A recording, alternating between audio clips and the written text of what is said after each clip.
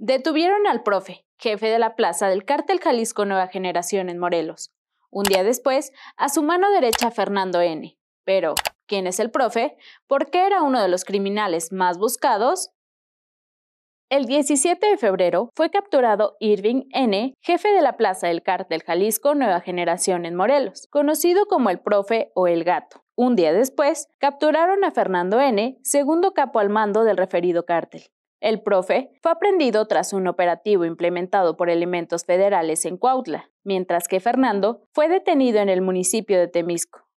El gobernador Cuauhtémoc Blanco informó que Irving es uno de los criminales más buscados por su administración. Pero, ¿quién es el profe? ¿Por qué es uno de los criminales más buscados?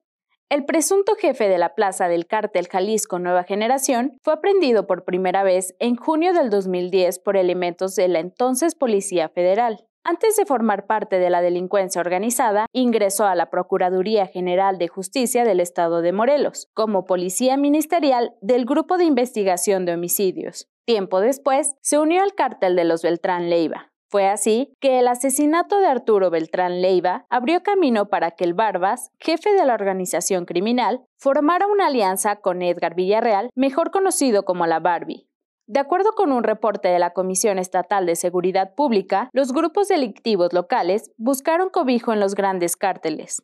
Cabe destacar que Irving y Fernando encabezaban el control del grupo criminal del cártel Jalisco Nueva Generación en los municipios de Cuernavaca, Temisco y Cuautla. Síguenos en redes sociales, encuéntranos como arroba Unión de Morelos y entérate de las noticias más relevantes.